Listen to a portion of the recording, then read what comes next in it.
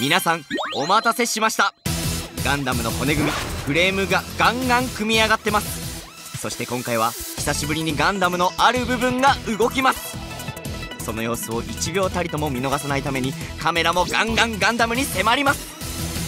おあの人が現場監督さんだな。よろしくお願いします。近寄らないようにお願いします。特にあのカメラ抱えたまま近づきすぎる。あ現場監督すみませんでも安全第一で行くんでお願いします。動くのかガンダム。夢への挑戦。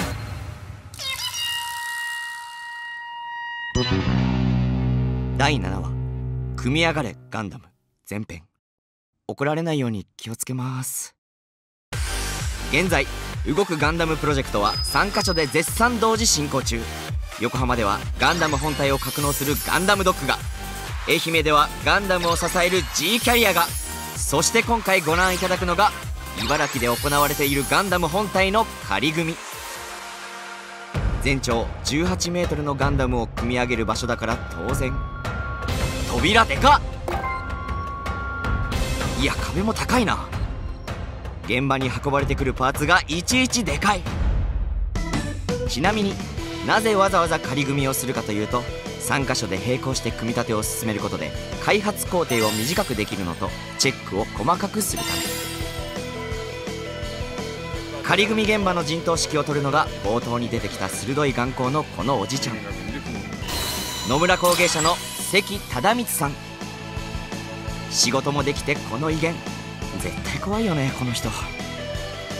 現場の若者とどんなコミュニケーションをとっているのかチェックしてみると。僕27あ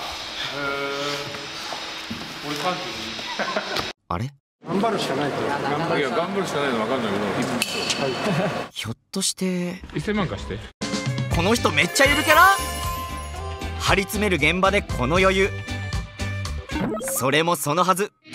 関さん2009年の実物大ガンダム立像の現場も任された。現場王。そんなわけで仮組み作業もガンガン進む。仮組みは G キャリアの代わりとなる壁を使ってガンダムのフレームパーツを合体させる作業。まず壁にガンダム接続用の台座と支持フレームを接続。支持フレームに左足右足で構成される下半身を合体。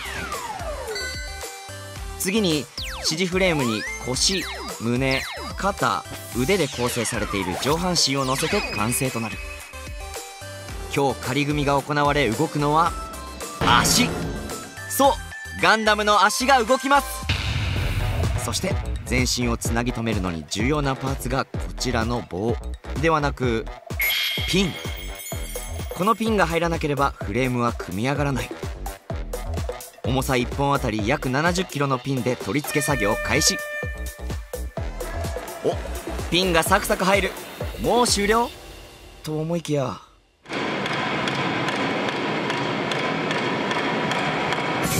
あれなんか苦戦してる？すると関さんが。一旦集合。こんぐらいなんでももう穴に入ってんだもんな。あと押すだけなんだ3センチぐらい。そうですねあと3センチ。されど3センチひたすらピンを打ち続けること3時間。一向に拉致が開かない。関さんもたまらず。作戦会議しようか降りてきて。ちょっと冷静に考えようよ。微妙なところがねクレーンだとできない。もうお手上げなのか。そこで現場を関さんが動いた。数分後。関さんなんか持ってきたな。これどうこれでやってみようか。これってまさか。あのねやっぱねハンマーね。あれじゃうーん。まあデリケートだから。デリケートなガンダムにあえてハンマーを打ち込む。上が無茶を言うなら現場も無茶する。さすがです。ハンマーでピンははまるのか？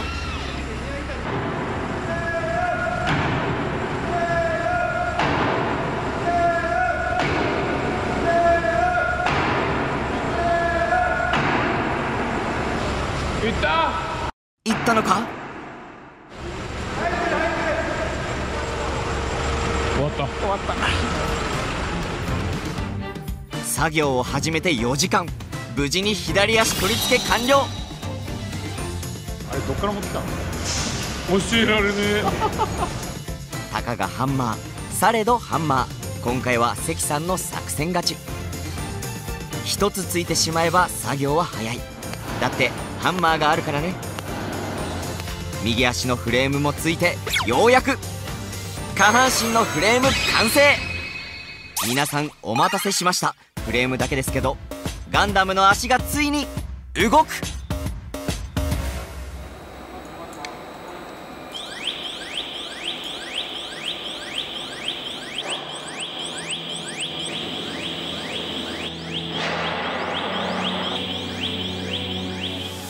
おー無事に動いた。想像以上に曲がる。ここまで動いたのも関さんとハンマーのおかげだね。関さんはただのゆるキャラじゃなかった。男前。あれ？急に漂う緊張感。無茶ぶり王宮川さん登場。次回は上半身を組み立ててあの人が。いやいやいやいや